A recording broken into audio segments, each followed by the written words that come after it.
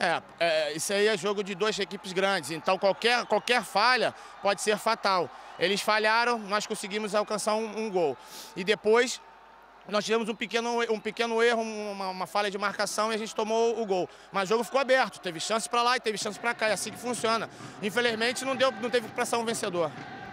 네, 경기가 좀 아쉬웠지만 그래도 큰 팀들 이렇게 빅클럽들 경기를 하다 보면 조그마한 실수 하나에 골이 나기 때문에 우리도 그 실수를 의해서 골을 넣었고 우리의 조그마한 실수에 의해서 골을 먹었기 때문에 뭐 일단 좋은 경기를 펼친 것 같다고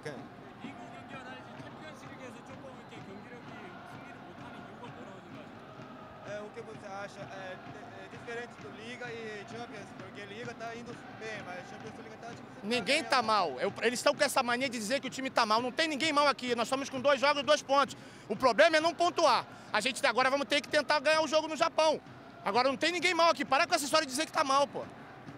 네, 지금 K리그에서는 두절개 가는 아시안 챔피언에서 지금 2무를 했잖아요. 그렇다고 경기 내용이 안 좋고 뭐가 안 좋은 게 아니라 일단 진 거보다 비기는 게 승점을 따는 게 중요하기 때문에 지금 많은 사람들이 그렇게 안 좋다고 안 좋다고 얘기를 하는데 절대 그런 일도 없고 정말 시간이 가면 갈수록 더 좋은 거니까 그런 것 쪽으로 너무 걱정할 필요도 없다고.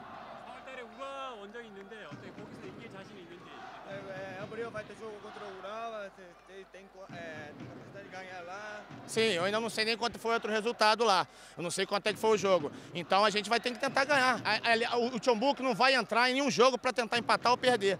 A gente vai tentar para ganhar sempre.